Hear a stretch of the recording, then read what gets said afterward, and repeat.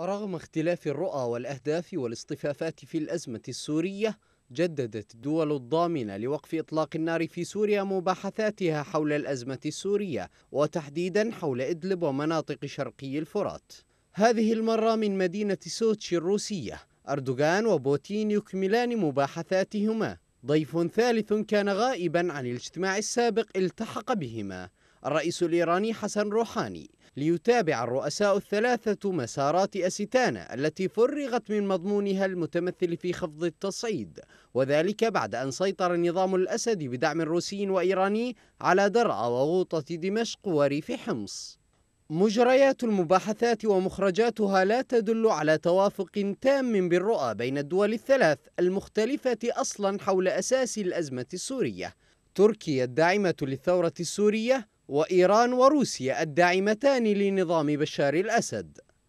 أردوغان في المؤتمر الختامي أكد أن أمل التوصل لحل الأزمة السورية بات قريب المنال أكثر من أي وقت مضى وشدد على ضرورة بذل جهود استثنائية من أجل المحافظة على الهدوء في إدلب.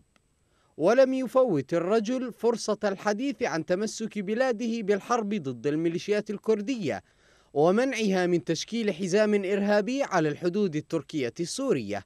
بوتين من جهته أكد ضرورة المحافظة على وحدة الأراضي السورية وعودتها نهاية الأمر إلى سلطة نظام الأسد.